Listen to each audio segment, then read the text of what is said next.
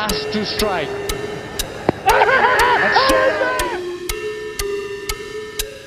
Aslam friends आज की video में बात करने वाले हैं कि हम अवैस एडिट्स की तरह वीडियो एडिट कैसे कर सकते हैं। ये जो कलर ग्रेडिंग आप देख रहे हैं, ये बहुत ही औसम कलर ग्रेडिंग है। तो वीडियो को एंड तक देखना, बिल्कुल इजी मेथड में आपको सिखाऊँगा। तो नंबर वन पर आपने विंक एप्लीकेशन को ओपन कर लेना है। इसको ओपन करने के बाद कुछ इस तरह का इसका इंटरफेस होता है, आपने यहाँ पे देख लेना एक एचडी है और एक एआई है। तो आपने ए आई रिपेयर के ऑप्शन पे क्लिक करना है। यहाँ पे ट्राई नाउ के ऑप्शन पे क्लिक कर देना है। विंक एप्लीकेशन को अगर आप पहली मरतबा यूज़ कर रहे हैं तो ये आपसे अलाउ मांगेगा। तो आपने यहाँ पे इसको परमिशन दे देनी है। परमिशन देने के बाद यहाँ से आपने वीडियो को सिलेक्ट कर लेना, जो वीडियो आपने यहाँ पे ऐड करनी होगी, ठीक है? एआई रिपेयरिंग करनी होगी, उसको आपने सेलेक्ट करना, ये थोड़ी सी प्रोसेसिंग होगी, ठीक है? उसके बाद आपके सामने कुछ इस तरह का इसका इंटरफेस आ जाएगा। आपने यहाँ से फ्रेंड्स सबसे पहले यहाँ पे टू के सिलेक्ट कर लेना, ठीक है? यहाँ पे आप HD कर लेना, अगर आपका मोबाइल स्लो है, ठीक है? बाद नॉइस रिडक्शन को भी आपने अच्छे तरीके से यहाँ पे एडजस्ट कर लेना तो यहाँ पे इसको नॉइस रिडक्शन को टू पे रख देता हूँ, ठीक है? और ये नाइट मोड वगैरह, इसको आपने बिल्कुल नहीं चढ़ना नीचे आपने ऑटो के ऑप्शन पे क्लिक कर देना। इसके ऊपर आप जैसे क्लिक करेंगे, यहाँ पे कुछ प्रोसेसिंग होगी थोड़ी सी, ठीक है? फिर उसके बाद जो आपकी वीडियो है वो यहाँ पे बन के रेडी हो जाएगी आपके सामने ठीक है? उसके बाद आपने ये वाली सेटिंग आपने इसकी ज़रूर कर लें जब आप इसको एआई से रिपेयर कर लें ठीक है? उसके बाद आपने ये वाला जो सेंटर वाला ऑप्शन है ठीक है? इससे आप बिफोर एंड आफ्टर में रिज़ल्ट देख सकते हैं ठीक है? यहाँ पे आप देख सकते हैं बिफोर एंड आफ्टर का रिज़ल्ट तो एक बात जो इंपॉर्टेंट है वो मैंने आपको यहाँ पे बतानी थी ठीक है?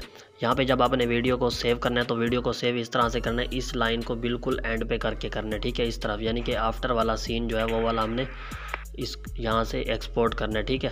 तो इसको एक्सपोर्ट करने के लिए वैसे आप यहाँ पे भी क्लिक कर सकते हैं, ठीक है? नीचे आपने आफ्टर वाले रिज़ल्ट पे क्लिक करना है, ठीक है? इसके ऊपर इसके ऊपर आपने क्लिक करना है और यहाँ से ऊपर सेव वाले बटन पे क्लिक कर देना है, ताकि जो आपका आफ्टर का रिज़ल्ट है ना, वो यहाँ से सेव हो जाए, ठीक है?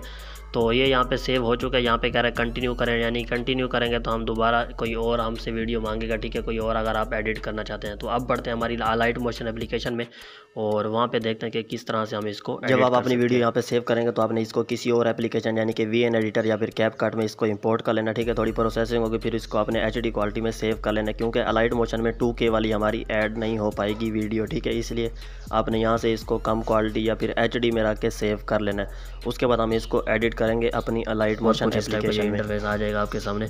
तो आपने फ्रेंड नीचे प्लस वाले आइकन पे क्लिक करना और यहाँ पे आपने एक शेप को सेलेक्ट कर लेना ठीक है? इस शेप को सेलेक्ट करने के बाद अपने friend simple colour and fill में आना ठीक है? और यहाँ से एक डार्क कलर सेलेक्ट कर लेना डार्क वाइज ठीक है? जहाँ मैंने ये डार्क बनाया हुआ है आप कोई भी और सेलेक्ट कर सकते हैं ठीक है? तो यहाँ से इसके बाद आपने फ्रेंड सिंपल इफ़ेक्ट वाले ऑप्शन पे क्लिक करना है एड इफ़ेक्ट पे क्लिक करना है एड इफ़ेक्ट पे क्लिक करने के बाद यहाँ पे सबसे पहले कॉपी बैकग्राउंड का इफ़ेक्ट अप्लाई कर देना, फिर एड इफ़ेक्ट पे क्लिक करना है और उसके बाद आपने गार्जियन ब्लर का इफ़ेक्ट अप्लाई करना है और इसकी जो सेटिंग है वो आपने तकरीबन चार सौ रख देनी है, ठीक है? तो इसकी सेटिंग आपने 400 कर देनी और उसके बाद सिंपल बैक आ जाना है। दोबारा ऐड इफ़ेक्ट पे क्लिक करना है और यहाँ से आपने एक्सपोजर एंड गामा इसको सेलेक्ट करना है और ऐड इफ़ेक्ट पे दोबारा से क्लिक करना है। यहाँ पे आपने सेचुरेशन एंड वाइब्रेंस को सेलेक्ट कर लेना है, ठीक है? तो उसके बाद आपने जो एक्सपोजर है, ठीक है, इसको आपने इस तरह से अस्सी पे रख लेना ठीक है? ज़ीरो, माइनस में ज़ीरो पॉइंट एट ज़ीरो और उसके बाद जो गामा है, इसको आपने बढ़ा के वन पॉइंट वन कर देना, ठीक है? तो इतना करने के बाद बस उसके बाद आपने सिंपल बैक आ जाना। बैक आने के बाद एक्सपोजर वाले सेचुरेशन एंड वाइब्रेंस के ऑप्शन पे क्लिक करना है। और यहाँ से जो इसकी सेचुरेशन है, वो आपने कुछ इस टाइप से कम करनी है, ठीक है? यहाँ पे मैं इसको थर्टी कर देता हूँ माइनस में। उसके बाद आपने सिंपल बैक आ जाना है। यहाँ से ब्लेंडिंग एंड ओपेसिटी के ऑप्शन पर क्लिक करना है। डिफरेंस में आने के बाद इसको कर देना है सब ठीक है?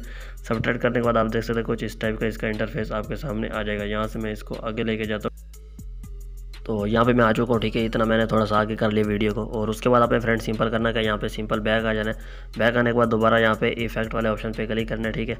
इफ़ेक्ट वाले ऑप्शन पे क्लिक करने के बाद एक्सपोजर एंड वाइब्रेंस जो, जो आपने एक्सपोजर सेलेक्ट किया था ठीक है? एक्सपोजर एंड गामा इसको सेलेक्ट करना है और यहाँ पे अपने ऑफ़ के ऑप्शन पर क्लिक करना है और यहाँ पर इसको इसकी जो लाइटिंग है, ठीक है? यानी ऑफ़ साइड है, जी माइनस में ज़ीरो पॉइंट ज़ीरो फाइव रख देना, ठीक है?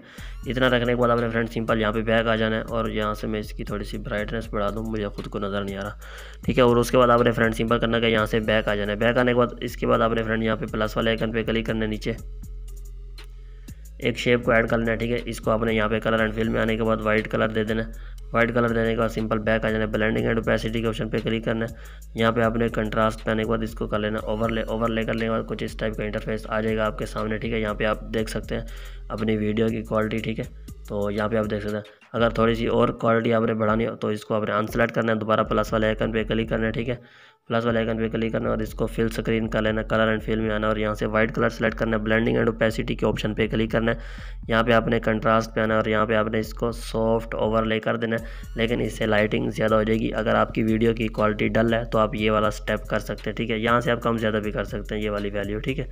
तो यहाँ से कुछ भी कर सकते हैं तो यहाँ मैं इसको इस तरह से ख़त्म कर देता हूँ, ठीक है? यहाँ से देख सकते हैं, बस इतना सा फ़र्क पड़ रहा है। तो इतना सा फ़र्क पड़, इतना सा फ़र्क से ज़्यादा कुछ नहीं होता। उसके बाद आपने इन तीनों लेयर को इस तरह से सेलेक्ट करना है। सेलेक्ट करने के बाद यहाँ पे वीडियो के स्टार्ट में आना है और वीडियो के एंड पे आना है। वीडियो के एंड में आने के बाद यहाँ पे आप देख सकते हैं, बिल्कुल एक स्मूथ क्वालिटी यहाँ पे बन चुकी है हमारी, ठीक है? और एक और बात यहाँ पे आपको बता दूँ, ठीक है? यहाँ पे आपने फ़र्स्ट वाली इस लेयर के ऊपर ऊपर क्लिक करना है इफ़ेक्ट वाले ऑप्शन पे क्लिक करना है ऐड इफ़ेक्ट पे क्लिक करना है ऐड इफ़ेक्ट पे क्लिक करने के बाद यहाँ पे आपने शार्पन का इफ़ेक्ट जो है वो भी यहाँ पे अप्लाई कर सकते हैं, ठीक है? मैं आपको ये रिकमेंडेशन दे रहा हूँ। तो इसको अप्लाई करने से क्या होगा? जो आपकी वीडियो है ना, इसके अंदर थोड़ा ग्लो इफ़ेक्ट आ जाएगा लाइटिंग ज़्यादा हो जाएगी, ठीक है? वैसे आपकी मर्ज़ी, आप इसको ऐड करना चाहें या ना करें, जो भी आपकी मर्ज़ी, ठीक है? डिस्क्रिप्शन में आपको एक्सएमएल फ़ाइल का भी लिंक मिल जाएगा, वहाँ से इजीली आप डाउनलोड कर सकते हैं। तो इसके बाद अपने फ्रेंड्स जो भी इफ़ेक्ट ऐड करने वो आप अपनी मर्ज़ी से ऐड कर सकते हैं। तो इसकी सेटिंग मैं आपको बिल्कुल नहीं बता रहा, ठीक है शार्पन की। कहीं ये ना हो कि आप कहीं, यार, ये ज़्यादा डिफ़िकल्ट हो गया। और उसके बाद आपने ऊपर एक्सपोर्ट वाले बटन पर क्लिक करना है और इसको यहाँ से क्लिक करके एचडी क्वालिटी में एक्सपोर्ट कर लेना है। तो फ्रेंड्स उम्मीद करता हूँ वीडियो अच्छी लगेगी। अच्छी लगे तो वीडियो को लाइक करना चैनल को सब्सक्राइब करना। मैं मिलता हूँ आपसे नेक्स्ट वीडियो में, तब तक के लिए अल्लाह हाफिज़।